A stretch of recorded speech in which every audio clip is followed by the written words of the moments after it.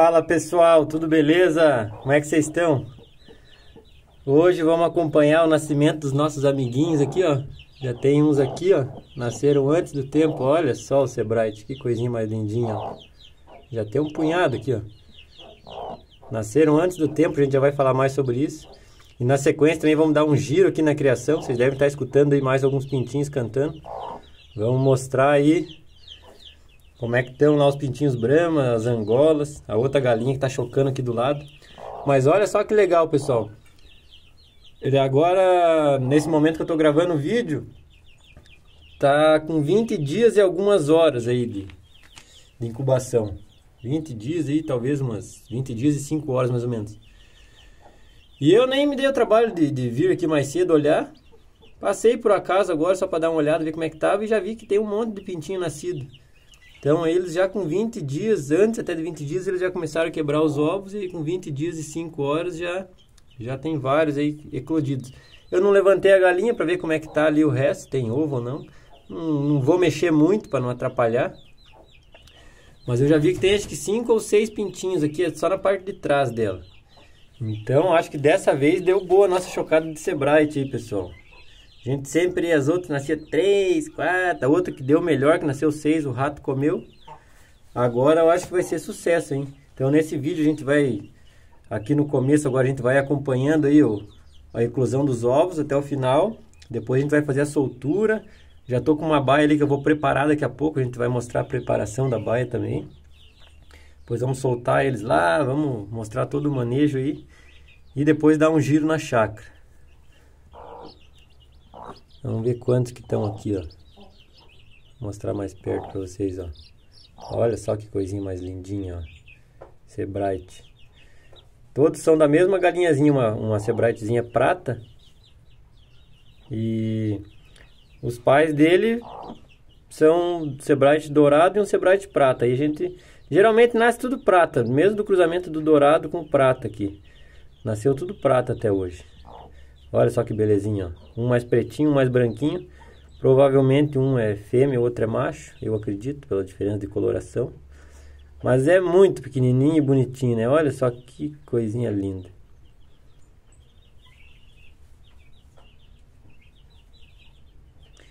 Essa galinha bem mansinha também, colabora bastante, não, não fica xaropeando com a gente, beliscando. Olha só que belezinha, ó. Coisa linda, né?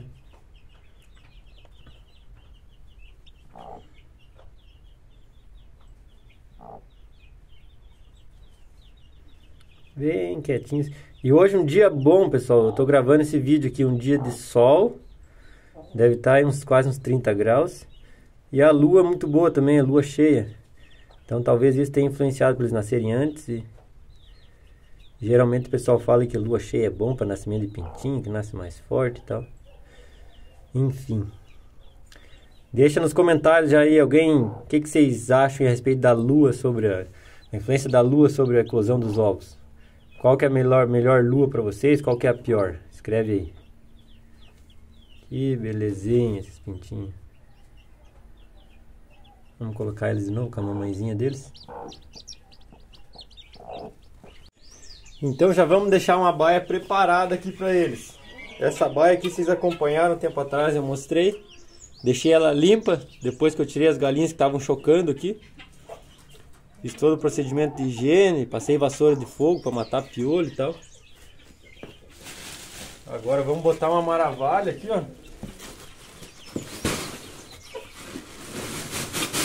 Botar um meio saco de maravalha. Espalhar bem.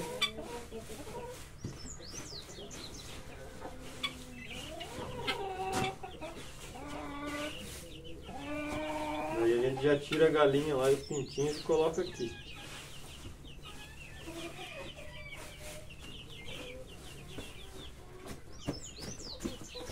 Vamos botar uma comidinha agora para eles já.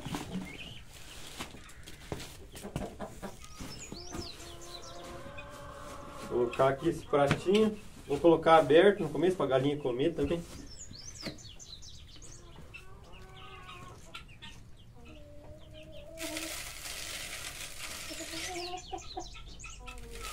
raçãozinha inicial, ó.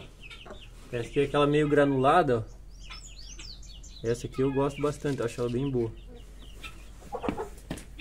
E vamos baixar o bebedouro também.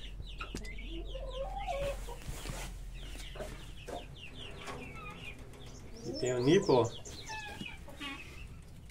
Preciso só sangrar ele, que ele tá vazio. Eu abro esse registro aqui, ó.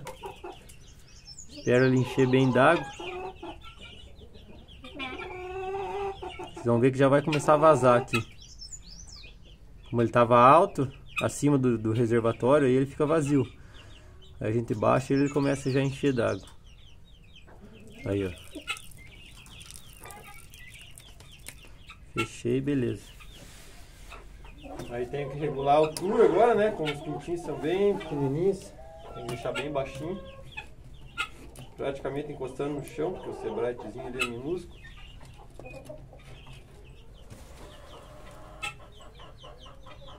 Vamos dar uma, jogar uma aguinha para tirar essa poeira que aqui ele foi lavado né? quando eu tirei as galinhas daqui, então o princípio tá limpo. Só para tirar mais essa poeira que tá aqui, ó. Joga uma aguinha, ela já sai, ó.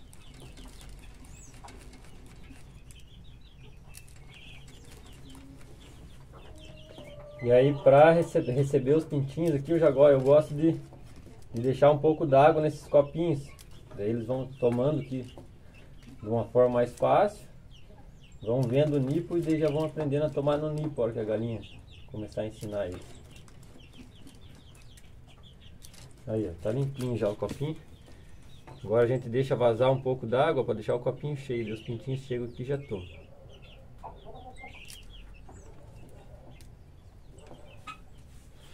Então agora vamos aproveitar para mostrar essa turminha aí. Vejam só que belezinha que eles estão. Não me lembro se eu comentei no último vídeo que eu mostrei para vocês aí semana passada. Mas é as angolinhas, acabou morrendo uma logo nos primeiros dias. Depois do nascimento, ela já, desde a da eclosão, ela, ela já estava meio tristinha. Nos, acho que segundo, terceiro dia aí após a eclosão, já acabou morrendo essa angolinha. Então ficaram é, 10 bramas e 4 angolinhas. Esses dias aconteceu um fato inusitado que também não tinha ninguém na criação. Aí a gente mexeu nessa porta aqui, que tem aqui, da, fechando aqui o cercado, ó. A gente mexeu aqui nessa porta. Que eu fiz o vidro, vocês viram semana passada. E essa tramela aqui, ela ficou meio frouxa agora. Porque eu também tirei aqui uma rebarba que pegava aqui embaixo, que ajudava a travar a porta. E aí acho que o vento provavelmente acabou mexendo na porta, isso aqui abriu. Nós, meu pai chegou aqui os pintinhos estavam lá em cima lá com a galinha. Mas todos bem, não teve problema nenhum.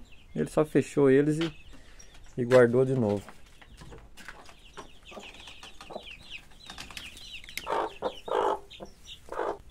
Vou jogar aqui, ó. Olha só que belezinha. Eu tirei agora poucos comedores porque eles estavam derrubando muita comida no chão. Aí eu, eu tirei os comedouros para eles comerem a comida do chão e para aproveitar, para não dar muito desperdício. Eles já praticamente limparam, está quase na hora de eu colocar de novo o comedouro. Aí.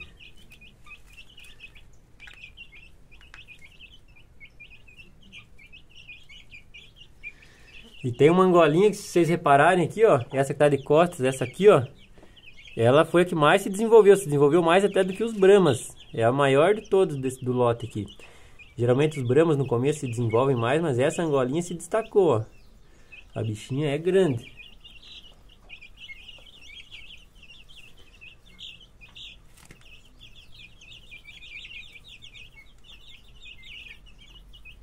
Então aqui estamos no dia seguinte, o início da eclosão dos pintinhos, dos ovos, né? Aqui do lado tá aquela nossa amiguinha garnizela, chocando os ovos de Angola. Aí o que, que eu vou fazer? Eu vou tirando os pintinhos, não sei o que que deu ali. Vou tirando os pintinhos, colocando nesse balde. Aí levo separado a galinha e depois os pintinhos pra lá. Um. Dois. Olha que belezinha.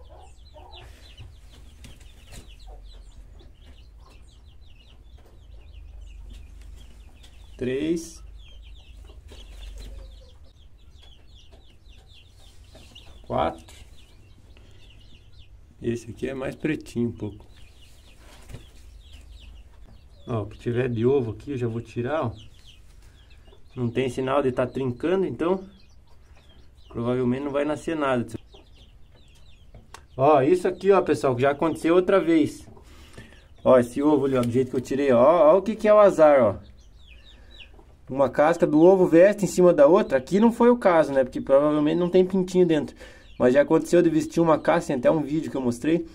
Vestir uma casca em cima, aí o pintinho quebrar tudo esse ovo aqui e não conseguir sair porque tinha uma outra casca vestida em cima aqui. É. Vamos ver aí. Aqui, ó. Foi colocado 16 ovos aqui, pessoal. Vamos ver o que que deu aí.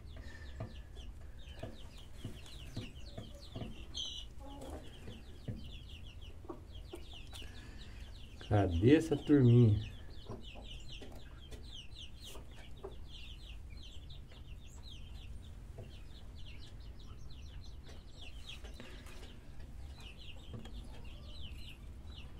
Ó, mais um aqui, pessoal. Mas isso daqui, olha...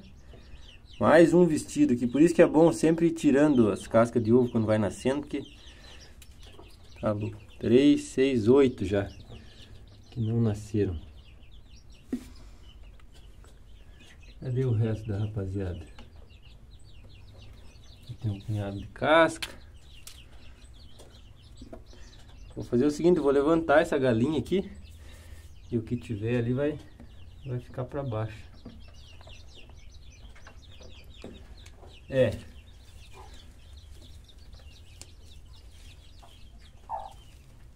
Tô achando que andou quebrando. Mais um, ó, pessoal. Cinco. Só cinco. Pensei que ia ser uma ótima chocada, mas tô achando que andou quebrando o ovo aí no meio do caminho. E tem um pintinho morto ali. Aqui, ó. Então vamos fazer a soltura aí dessa turminha.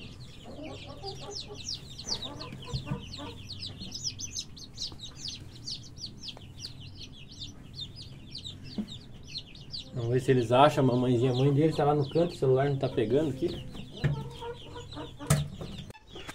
Pô, pessoal, tô muito triste. Olha essa cena aí.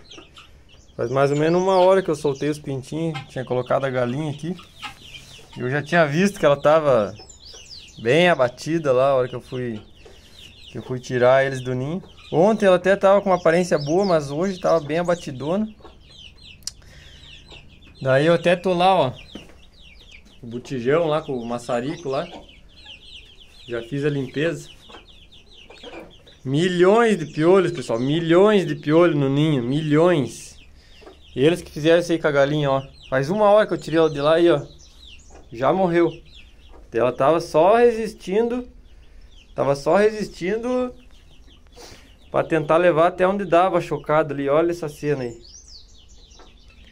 Tá louco, isso aqui desanima qualquer um. Gente, porra, pulveriza o galinheiro, dou medicamento na água, passa o medicamento nas galinhas, passa aquele pozinho.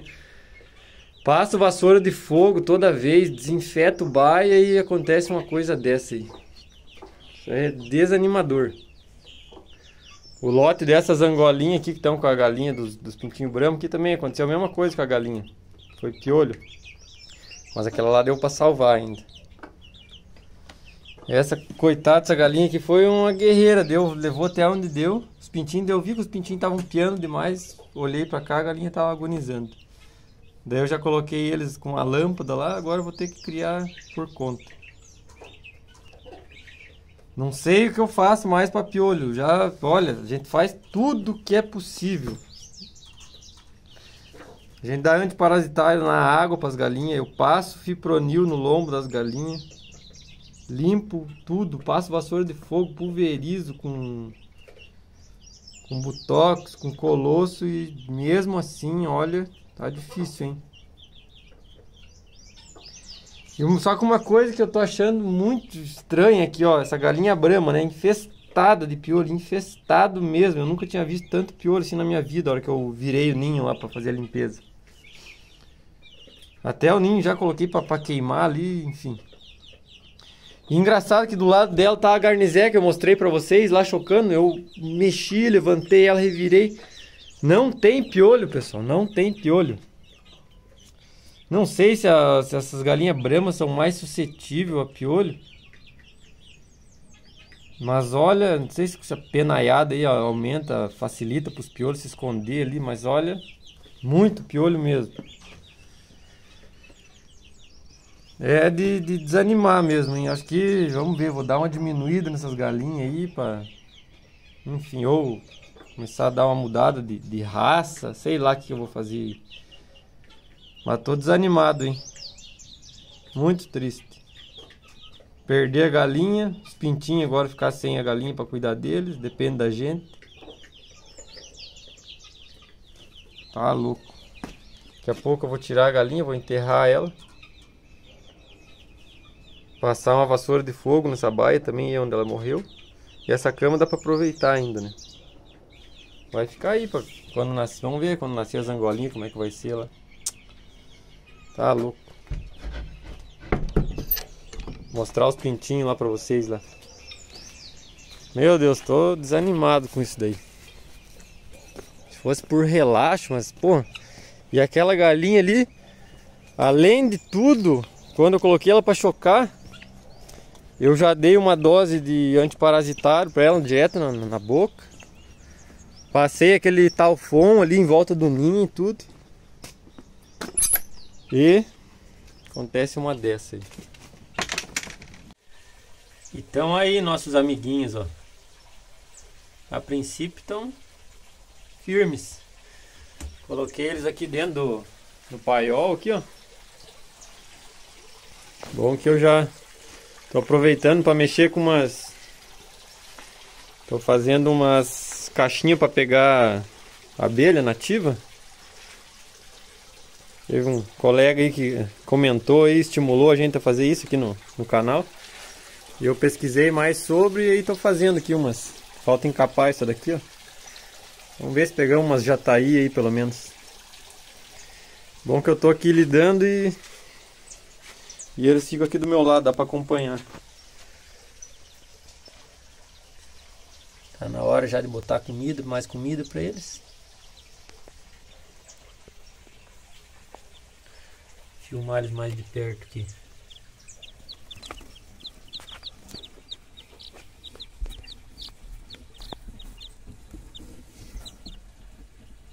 Belezinha. Tão firminho, né?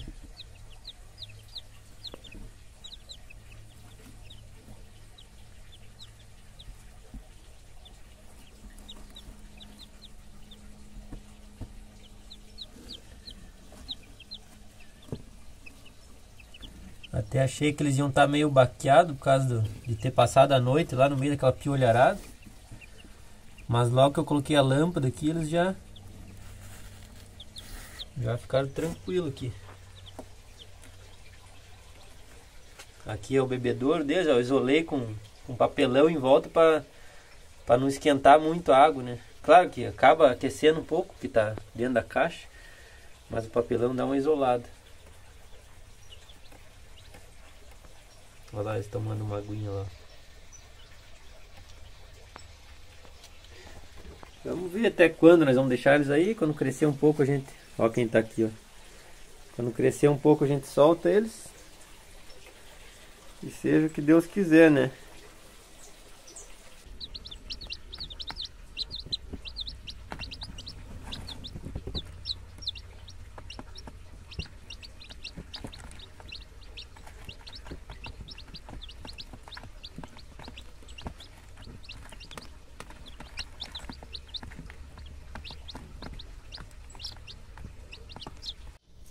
E agora vamos dar aquele giro pela criação aí, como prometi para vocês no começo.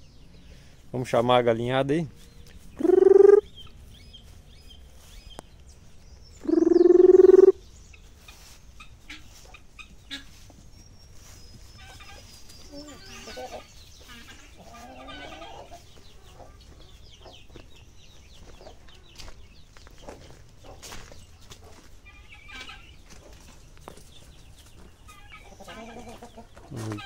Pegar um milho aqui e jogar para elas aí.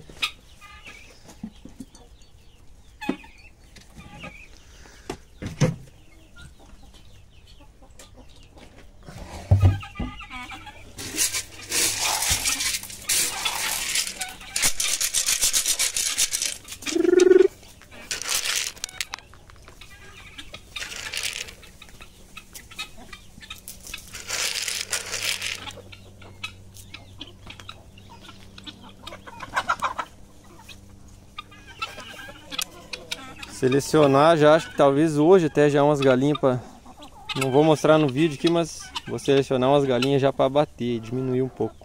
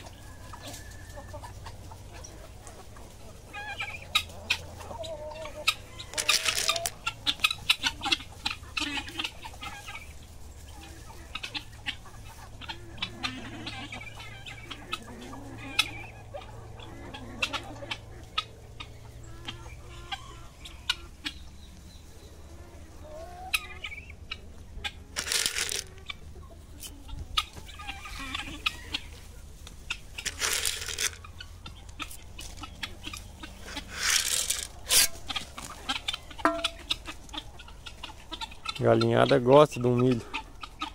Dá uma olhada ali atrás, ontem eu esqueci de tirar os ovos lá ontem.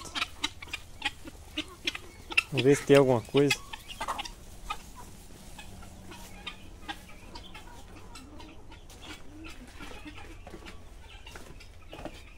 Sei que tinha uma galinha da Angola choca no ninho aqui ontem à noite. Eu andei tirando ela. E agora ela não tá aqui. Ó, essas aqui são Acho que meu pai que deve ter deixado aqui. Aqui tem casca de ovo. De galinha que andou comendo ovo. Tem quatro aqui, vou dar uma olhada no ninho aqui, ver como é que tá.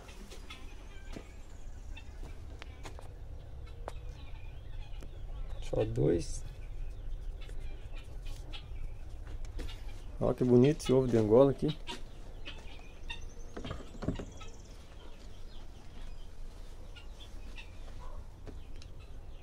Aqui tem mais um de Angola também. Em cima não tem nada.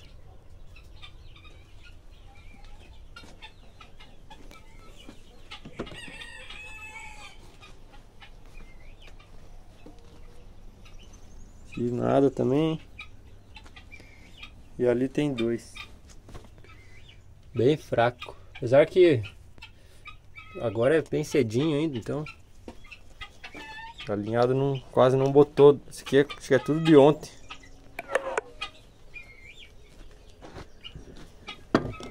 Três, seis, nove.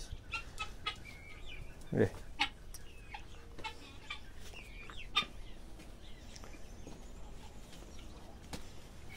Finalizar com essa turminha que vocês já viram aí no começo.